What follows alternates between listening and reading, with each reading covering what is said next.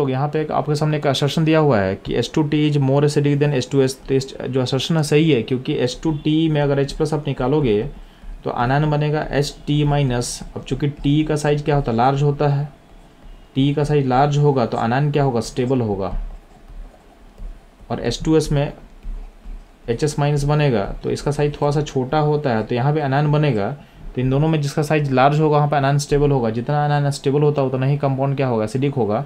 यानी S two T is more acidic than S two S ये आपका session सही है।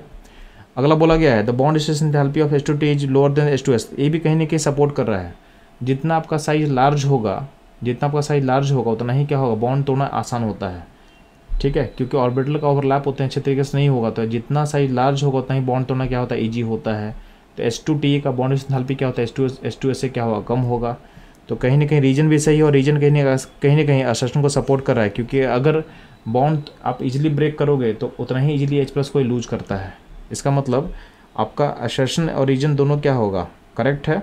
और जो रीजन है असर्शन को क्या कर रहा है एक्सप्लेन कर रहा है। यानी आपका जो आंसर फोर होगा, वो होगा करेक्ट ठीक है? तो बच्चों, ये था इस क्वेश्चन का concept analysis and solution move करता हम लोग नेक्स्ट क्वेश्चन पे।